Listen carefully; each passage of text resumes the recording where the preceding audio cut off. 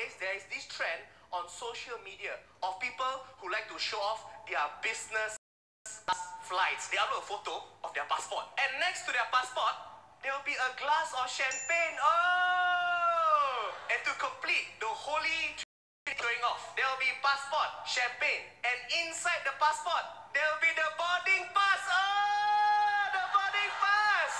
But check it out, the passport is not big enough to cover the entire boarding pass. What is not covered are the letters S I N E S S class. Is my friend sitting in economy seniors class?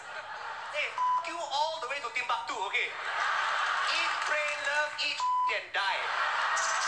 Comedy Central Stand Up Asia, Tuesday, only on Comedy Central.